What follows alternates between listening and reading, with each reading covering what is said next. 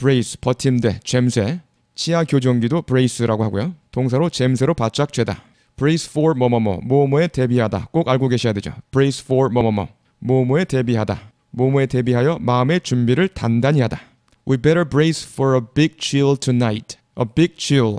강추위. 자, 오늘 밤 강추위에 단단히 대비하는 게 좋겠다. We'd better brace for a big chill tonight. Brace yourself for something 이란 표현. Brace yourself for something.